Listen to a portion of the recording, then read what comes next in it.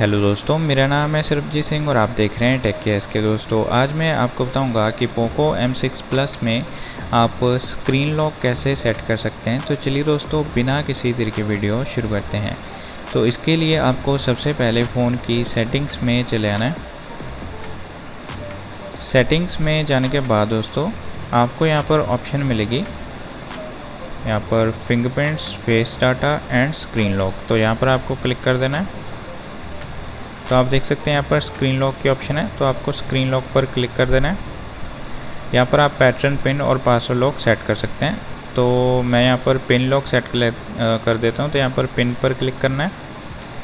यहाँ पर गोटिट की ऑप्शन आएगी गोटिट पर क्लिक कर देना है।